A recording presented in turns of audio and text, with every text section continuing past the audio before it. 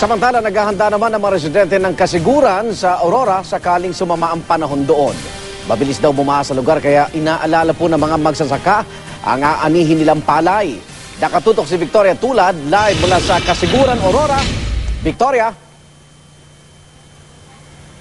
Igan bagamat hindi direktang maapektuhan ng bagyong Hener ang lalawigan ng Aurora, todo handa pa rin ang mga nandirito para sa malakas na pag-uulan dahil mabilis bahain ang ilang mga bayan.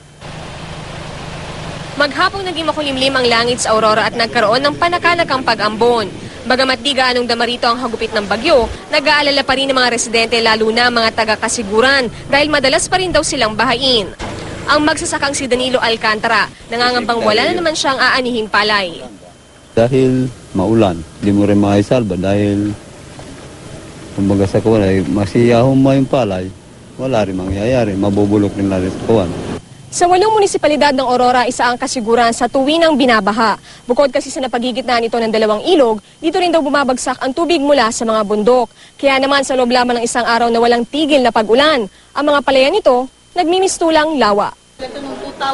Sakaling bumaha, nakahanda naman daw ang Municipal Disaster Risk Reduction and Management Office ng Kasiguran.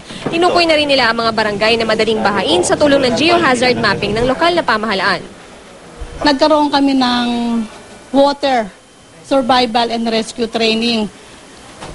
Ah, yung mga barangay na identified na binabaha, kumuha kami ng mga participants doon na mag-train, magsanay para dun sa mga sa pagre-rescue sa water survival.